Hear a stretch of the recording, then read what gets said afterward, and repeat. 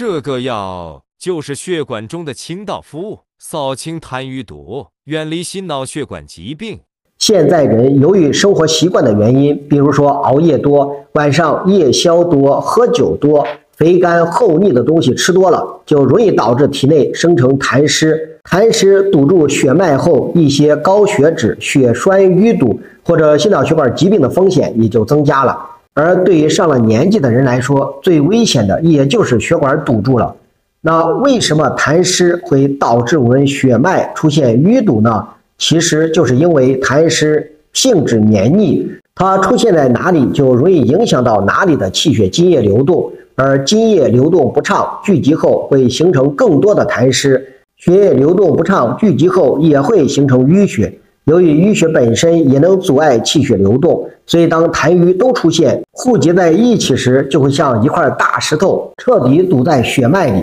也就是西医上常说的血栓。而对于脾虚气虚的人呢，往往也是更容易产生痰瘀的。毕竟脾为痰湿生成之源，而气也具有推动血液津液流动的效果，它起到一个疏通的效果。如果说气足了，可能体内出现的那些痰湿和淤血还能被疏通开；但如果气虚了，那就不行了。另外，气虚后它本身也容易产生痰瘀，所以这种气虚呢，总感觉身体乏力、疲惫、呼吸气短，但身上还有痰瘀，容易有刺痛、淤青、四肢困重、头面爱出油的人呢，就需要参考一个可以补气化瘀的中成药，比如说金参七散。这个药主要由西洋参、三七和鸡内金组成。这西洋参主要功效就是补气养阴，而且它入心经，主要就是补的心气。那心主血脉，心气足了，就可以推动血液运行，